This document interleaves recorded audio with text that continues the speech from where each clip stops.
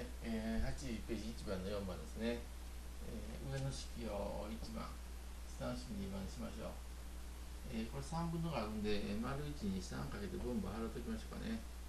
そうすると23が 6x プラス 5y イコールマイナス3ですか、ね、これを1ダッシュにします。えー、2番ですが、これ小数ですね、両辺に10をかけて、しかもこの y の方左辺にこうしておきましょう。そうすると丸2よりにしといて 3x マイナス 4y イコール18と。こうなるでしょう。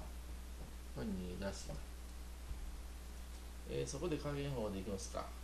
これ2ダッシュ2倍すると6になるんで、えー、1ダッシュからダッシュの2倍を引こうと。ね、1ダッシュというのは 6x 足す 5y イコールマイナス3ですね。この下の2ダッシュ2をかけると 6x 引く 8y イコール36。そいつを引くと。ね。そしたら 6x が消えて、ここは5引く引くだから足すになって 13y。足すとかこれ両方足すしたらダメですよ。ここここ引くの忘れるんでね。これも頭の中だけで足すと思ってくださいここは。ね。こう書かないように、イコール3マイナス3引く36ということはマイナス39ですね。そうすると13で割り切りますね。マイナス3はいこうやって y が出ました。じゃあ x ですがどこんなにすると簡単そうかな、えー、この1出しと簡単そうですね。一段子の台にしましょ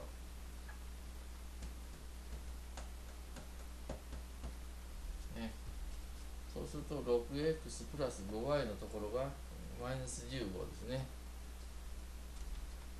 6x マイナス15イコール、えー、マイナス3。じゃあマイナス15を移行するとマイナス3プラス15。ということは12。ということは、x は2。これでいつ出ましたね。えー、まとめて、x はイコール、個人は間違いないのでね。2が先、x は先 y は後ろ。はい、2とマイナス3。これですね。